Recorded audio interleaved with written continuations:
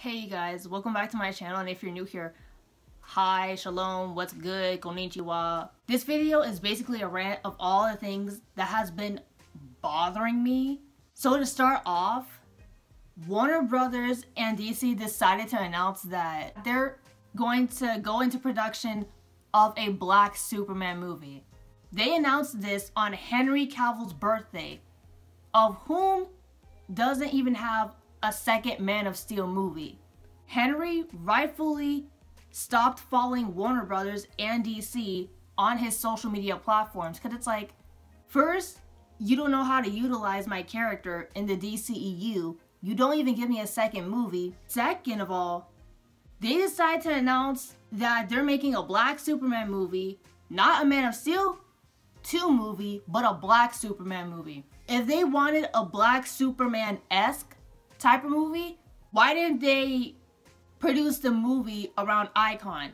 Why couldn't they produce the movie around Val-Zod? Why couldn't they produce the movie on Calvin Ellis, who's a black Superman, but he's a black Superman that was based around Barack Obama at the time when he was first inaugurated as the President of the United States. He's a black president and Superman. They could have went with either three of those options. They think black characters aren't authentic enough. They have to blackwash every single white originated character just so they can say, hey, there's a black Superman. If this movie actually does get produced with the race swapping, but there's gonna be a black Superman movie, I'm not gonna watch it it's not worth my time, energy, and most definitely it's not worth my $5 at the local movie theater. After finishing Falcon and Winter Soldier, I was like, why are they making Captain America black? Why couldn't they just allow Falcon to just be his own character? We still don't know anything about Falcon as a character. How are you going to give a side character who we know very little of a huge mantle to carry on after the OG Cap dies and not learn more about his origins.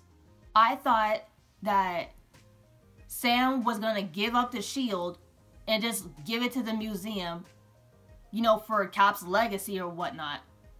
Or two, I thought both Sam and Bucky were going to share this shield, but not take up the mantle of Captain America they'd still keep their um, aliases of White Wolf or Bucky Barnes and as Falcon. But no, because everything is woke nowadays, they decided to make make it about a black man wanting to become uh, Captain America.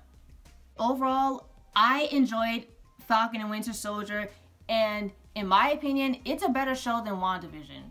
Another thing that's been bothering me was how Warner Brothers wanted Gal to apologize to her fans for a post that she made about the Israeli-Palestinian conflict that's happening right now. All she said in her post was, what's happening right now between the Israelis and the Palestinians is very heartbreaking. My heart is very broken and I'm sending my prayers to both sides.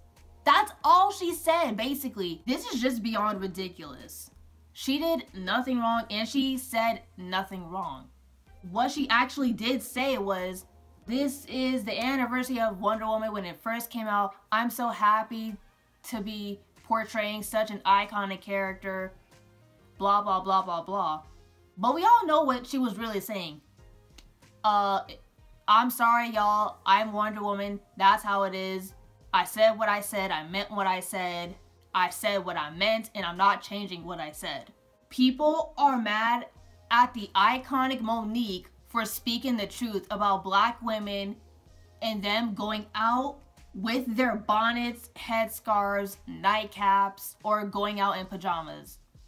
You're really telling me that you're going to roll out of bed with your bonnet on, your nightcap on, stinky because you were in bed for seven, eight, nine hours, with your pajamas on, you're gonna go put on some slippers and a robe and go to the airport, the grocery store. You're gonna go to Marshall's in your funky bathrobe, pajamas, and your bonnet on from the night before.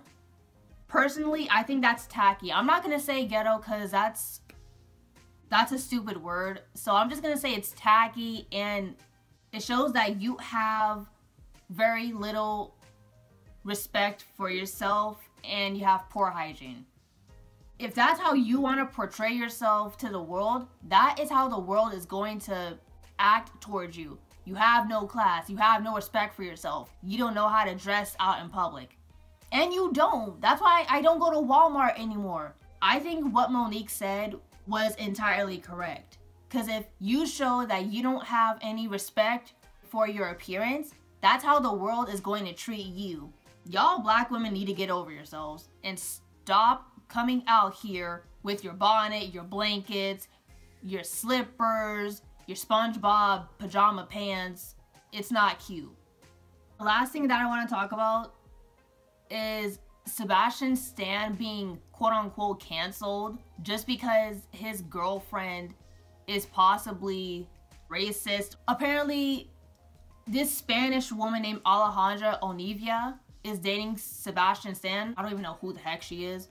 She has made, I guess, inappropriate posts about like, oh, ha ha ha, having a fun time on Asian night or having a fun time at an African party or something like that.